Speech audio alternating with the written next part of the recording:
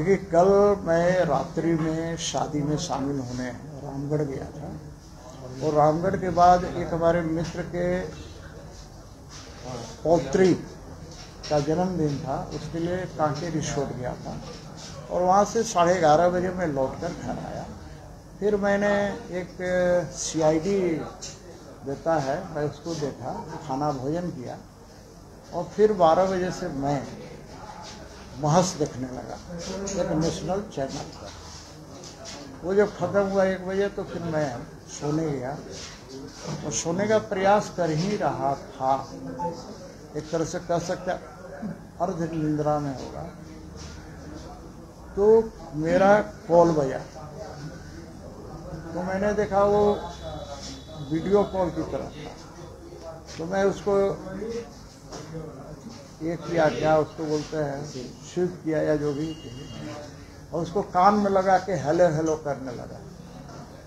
लेकिन उधर से सिर्फ़ अश्लील बातें आ रही थी। सिर्फ़ और सिर्फ़ अश्लील बातें आ रही थी तो मैं सेकेंड में, सेकेंड का भी कुछ हो रहा है तो मैं उसको रखा नीचे और उसको काटने का प्रयास करने लगा।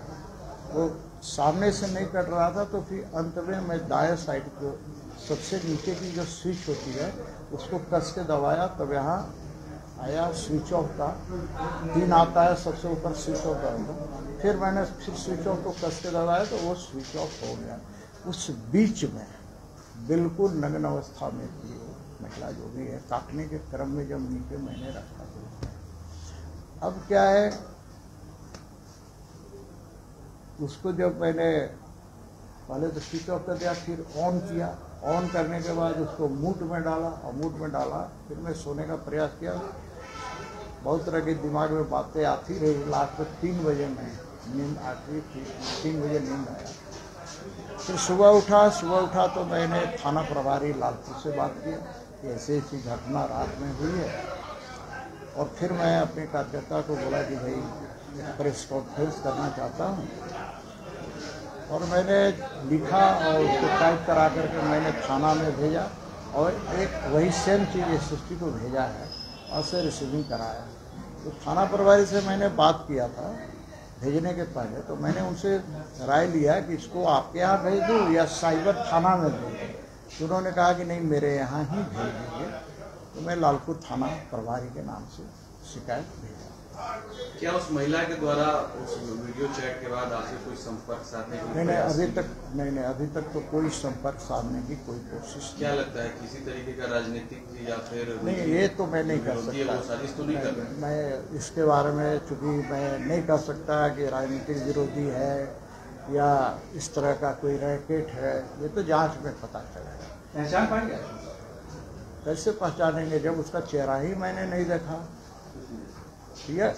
कुछ नहीं देखा देखा। नंबर मैं तो कहा पूरे ना। पूरे राज्य के अंदर हर दिन लगभग दस से बारह केसेस ऐसे आ रहे हैं। कई लोग सुसाइड भी कर चुके हैं कई लोग पैसा देकर बर्बाद भी हो चुके नहीं ठीक है वो हैं कैसे रोकने या का नहीं नहीं भाई इसके लिए सरकार का काम है ना। मैं मेरा काम क्या है? क्योंकि ये हाई प्रोफ़ाइल मामला है सरकार को तुरंत इसको त्वरित कार्रवाई करनी चाहिए। यदि झारखंड के अंदर साइबर क्राइम को रोकने वाला कोई बहुत अच्छा टीम नहीं हो तो मैं मांग करता हूँ कि बाहर से, दिल्ली से, बॉम्बे से, बड़े महानगरों में ऐसे एक्सपर्ट होते हैं, उनको बुला करके और इसका फॉरेंसिक जाँच कराए, ताकि सही चीज़ें सामने आए। स्वास्थ्य मंत्री का जो मामला आया है उसको लेकर कहीं ऐसा तो नहीं कि कुछ राजनीतिक साजिश की जा नहीं रही है? मैं मैं इस पर कुछ नहीं कर सकता इसलिए कि मुझे जब पता ही नहीं है ये शोमो तो है किसी की कारस्तानी है या ऐसा कोई रैकेट है साइबर क्राइम का या राजनीति है मैं कैसे कर सकता? मैं झूठ मूठ का आरोप किसी पर लगाता नहीं और मैं कह नहीं सकता कि ये कौन सा है। पुलिस का काम है पुलिस इसको जाँच करे और उस चीज़ को सार्वजनिक करे। मीडिया को बुलाए और सार्वजनिक करे कि भाई मामला ये है। किस थाने में मामला दर्ज लालपुर थाना।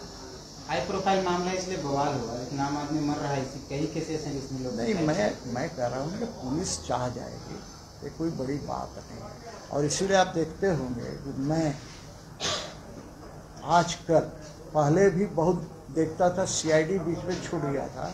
इधर, डेली यदि घर में जल्दी आ गया तो नौ से दस दस से ग्यारह ग्यारह से बारह, कई बार पहले भी छोड़ देते हैं, कई बार लेट, अब शादी ब्याह का होता है तो नहीं देख पाते हैं। तो देखता हूँ तो उसमें, अब वो तो सीआईडी वो तो एक तरह से सीरियल है।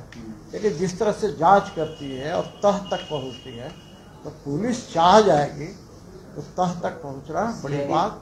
सीआईडी तो पुलिस को देखना चाहिए। नहीं नहीं सीआईडी पुलिस की बात नहीं कर रहा हूँ। सीआईडी एक सीरियल है भाई साहब। नहीं मैं कह रहा हूँ उसको पुलिस देखे तो पुलिस देखे कि नहीं देखे वो पता नहीं उनकी ट्रेनिंग होती है। भाई ट्रेनिंग का ये पार्ट है ना।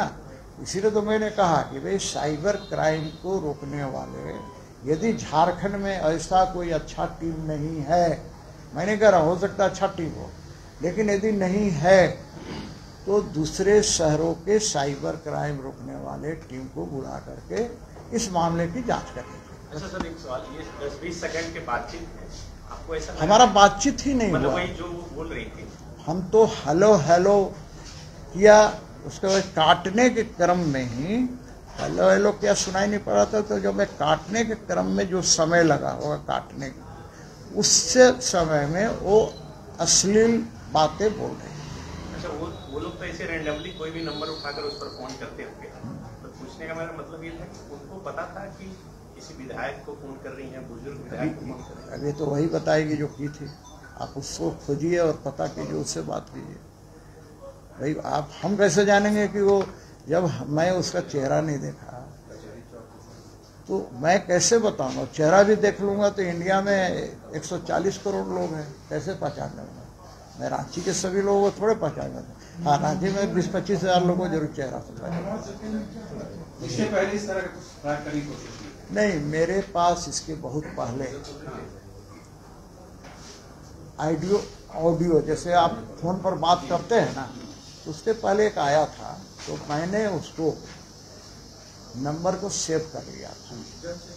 वो नंबर मैंने सेव किया डर्टी गर्ल करके। वो संभवतः होना चाहिए।